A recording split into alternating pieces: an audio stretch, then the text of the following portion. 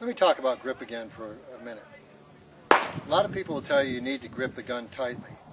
The problem with gripping the gun tightly is the tighter you grip it, the more the muzzle will tremble. If you grip the gun real tightly, the muzzle is going to shake.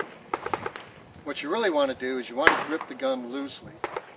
If you grip it loosely, the gun will recoil and come back to where it started from. And to show you that you don't need to grip it tightly, I'm going to show you a couple different things here. I'm going to grip the gun with these two fingers and fire it. And watch.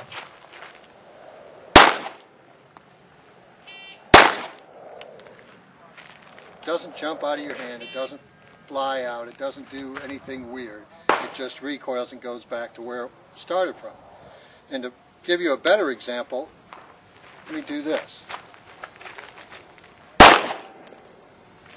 Again, the gun doesn't jump out of my hand, it doesn't fly through the air, it doesn't do anything.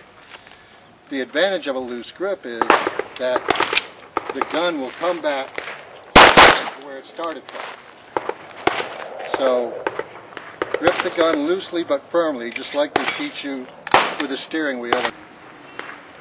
So remember, you don't need to grip the gun tight. Just grip it as tight as it takes to keep it in your hand. Let the gun do the work for you and that will enable you to shoot faster.